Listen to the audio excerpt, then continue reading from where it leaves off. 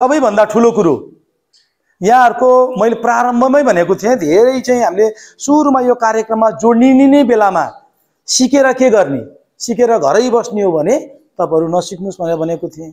र अब अहिले अब आजको मितिमा मलाई के मानेमा खुसी लागेको छ भने तपाईँहरू सबैजना कमिटेड हुनुहुन्छ।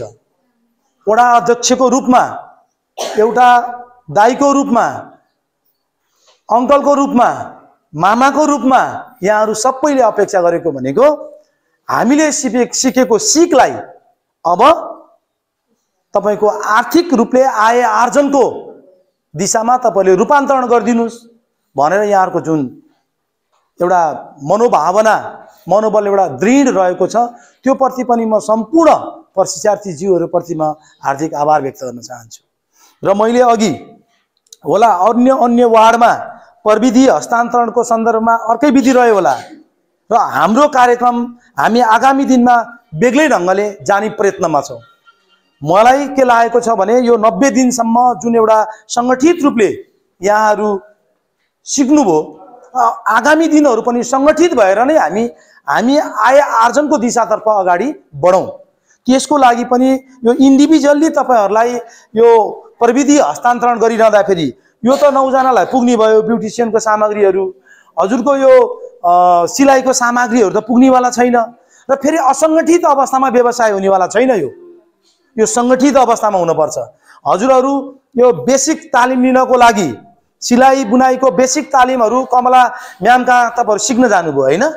सिक्न गइरहँदाखेरि कमला म्याम कहाँ पनि त सङ्गठित रूपले उहाँले एउटा सञ्चालिको सञ्चालिकाको रूपमा आफ्नो व्यवसाय प्रवर्धन गरिरहनु भएको छ सञ्चालन गरिरहनु भएको छ। त्यहाँनिर तपाईँहरू जस्तै दस आठजना महिला दिदी भनेर सिलाइरहनु भएको छ। हामी पनि अब यही नै गर्छौँ। रत्नगर नगरपालिका वडा नम्बर तिनको केन्द्रबिन्दु मुटु शान्तिचोक हो। शान्तिचोकमा हाम्रो भवन छ। त्यो भवनमा अहिले स्वास्थ्य केन्द्र चाहिँ हाम्रो सञ्चालित छ। स्वास्थ्य केन्द्रलाई एकदम छिटो छरितो ढङ्गले त्यसलाई हामी उसको आफ्नै भवनमा हामी सार्ने प्रयत्न गरिरहेका छौँ। सकेसम्म आजकै दिनमा यो कार्यक्रम त्यहाँ गर्नको लागि हामी तदारुकताका साथ लाग्दा लाग्दै तपाईँको कार्यक्रम सम्पन्न त्यो यतापट्टिको स्थानान्तरण हुनको लागि स्वास्थ्य केन्द्र भवन तयारी अवस्थामा थिएन। आज यो खानेपानी जोडिसकेको छ। अब हामी एक दुई दिनमा त्यहाँनिर छर सर्छौँ र हामी चाँडै नै एक दुई दिन चार पाँच दिन हप्ता दस दिनभित्रमा हामी रत्नगर नगरपालिका वडा नम्बर तिनको शान्ति चोकमा रहेको त्यो भवनमा यी सबै अहिले मेडपा कार्यक्रम अन्तर्गत आएका प्रविधिहरू र यहाँनिर अहिले तपाईँहरूले जुन दैनिक रूपमा यो सिकिरहनु भएको छ यी सबै सामग्रीहरू भने तपाईँहरूको हो। तपाईँ यी सबै सामग्रीहरूलाई हामी तिनेर एउटा रोजगार केन्द्रको रूपमा त्यो ठाउँलाई चाहिँ हामी प्रयोग गर्छौँ र हजुरहरूले एउटा कार्यविधि बनाउँला।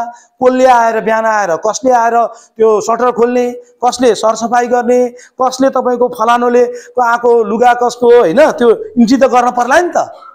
अनि त्यसलाई रोटेसनमा कसले मात्र चाहिँ सिलाउने यी सबै हामी गरौँला कार्यविधि बनाउँला। तपाईँ हामी सबैजना मिलेर। र यहाँहरूलाई मैले एउटा वचनबद्धता के गर्न चाहन्छु सबैभन्दा पहिलो पहिलो तपाईँको कम्तीमा पनि एक एक डेढ एक सय जोर सर्ट र पेन्ट चाहिँ यहाँहरूले सिक्न पाउनु भएको रहेछ कि म म्याडमलाई अनुरोध गर्न चाहन्छु अहिलेको यही उसलाई कन्टिन्यू गरेर वडाकै तर्फबाट हजुरहरूले यो पेन्ट पनि सिकाउन चाहिँ सिकाइदिनुहोस् उहाँहरूलाई। मलाई कम्तीमा पनि लागेको के छ भने यिनीहरू हाम्रो मैले योभन्दा अगाडि पनि भनेको थिएँ श्रीनिमा यो हाम्रो आधारभूत विद्यालय चाहिँ बेल्सी विद्यालयमा हामीले चाहिँ तपाईँको त्यहाँनिर पठन पाठन गर्ने विद्या विद्यार्थी भाइ बहिनीहरूलाई हामी लुगा त पहिलेबाटै होइन नेपाल सरकारले नै दिएको छ। थप अर्को पनि चाहिँ ड्रेस चाहिँ हामीले दिएर त्यो ड्रेस चाहिँ हामी एकमुष्ट रूपले तपाईँहरूकै सिलाइ केन्द्रमा पैसा तिरेर सिलाउँछौँ। अन्त हामीले पनि त पैसा तिरेर गर्छौँ तपाईँहरूलाई त्यो एउटा रोजगारको त ग्यारेन्टी भयो नि त। कम्तीमा पनि अझै एउटा परिष्कृत रूप पनि रहने भयो। त्यसले गर्दाखेरि आगामी दिन भनेको जुन नब्बे दिनसम्मको सिकाइ छ त्यसलाई हामी आय आर्जनको रूपमा प्रयोग गर्नेछौँ सिलाइ केन्द्रको सन्दर्भमा। अब यतापट्टि रह्यो नौजना।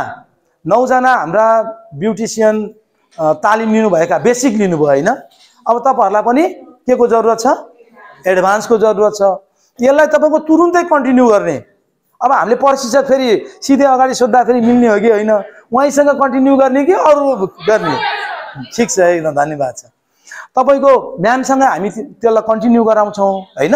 र तपाईँको यही सामग्रीहरू पनि अहिले इन्डिभिजुअली लिगेर तपाईँहरूको घरमा त्यो युजलेस हुन्छ। प्रयोगमा आउँदैन। यो सामग्रीलाई हामी तिनेर दुईवटा कोठा छ एकातिर हामी सिलाइ केन्द्र बनाउँछौँ अर्कोतिर हामी पार्लर बनाउँछौँ। होइन? त्यसले गर्दाखेरि अस्ति भर्खर हामीले आदरणीय प्रशासकीय प्रमुखज्यूलाई पनि यो त मैले कृषि पशु र रोजगारमा भनेर यो पैसा राखेको थिएँ। यसले चाहिँ फेरि यो सामग्रीहरू चाहिँ खरिद गर्न पाइँदो रहेनछ। सरले सहजीकरण गरिदिनु भएर अस्ति भर्खर हामीले चाहिँ त्यसलाई चाहिँ शीर्षकान्तर होइन? हाम्रो सविता म्यामले त्यसलाई शीर्षकान्तर हामीले त्यो गरे गरेका पनि छौँ। र अब सिलाइ केन्द्र सञ्चालन गर्नको लागि र त्यो उतापट्टि ब्युटी पार्लर सञ्चालन केही ऱ्याकहरू त बनाउनु पर्ला नि त? पर्दैन त? ऱ्याकहरू किन्न पर्छ। तपाईँहरूले चाहिँ अब सिलाइ केन्द्रको दिदीबहिनीहरूले होइन छोरी बुहारीहरूले कमला म्यामसँग सम्पर्क गरेर बेसिक अहिले तत्काल हामीलाई चाहिने चिजहरू के के हुन्? त्यो चिजहरूको लिस्ट बनाउनुहोस् होइन? र तपाईँको ब्युटिसियनको पनि हजुरहरूले लिस्ट बनाउनुहोस्। मलाई जहाँसम्म लाग्छ शान्ति चोक हाम्रो केन्द्रबिन्दु हो त्यहाँनिर हाम्रो व्यवसाय मजाले चल्छ।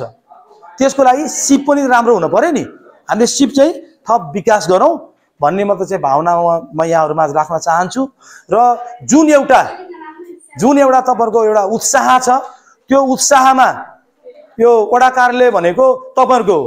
यहाँका जति पनि कार्यक्रमहरू अहिले भर्खर हामी एघार बजेबाट आएर बस्यौँ। हामी यो एक्काइस गते त हामीले सबै यो बजेटलाई पनि तपाईँको शीर्षक शीर्षकमा बजेट छुट्याउन पर्ने छ त्यो विषयमा पनि हामी बस्यौँ।